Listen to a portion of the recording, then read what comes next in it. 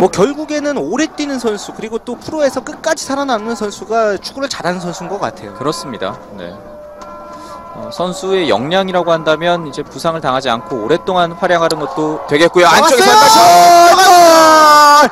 선취골 서울 이랜드 FC 만들어내면서 1대 0으로 앞서 나갑니다. 자, 골 장면 이전에 조원희 선수를 계속해서 칭찬을 하고 있었는데 네. 결국에는 오래 살아남는 선수가 조원희 선수였고 골까지 기록한 선수가 조원희 선수가 됐습니다. 그렇습니다. 조원희 선수가 팀의 선취골을 만들어내면서 1대 0으로 앞서 나갑니다. 말씀해주신 대로 또 조원희 선수 이야기를 하고 있었는데 바로 골을 만들어내는군요. 수비 라인에서 패스를 연결했었고 어느새 또 페널티 박스 부근까지 와서 골까지 만들어냈어요. 네.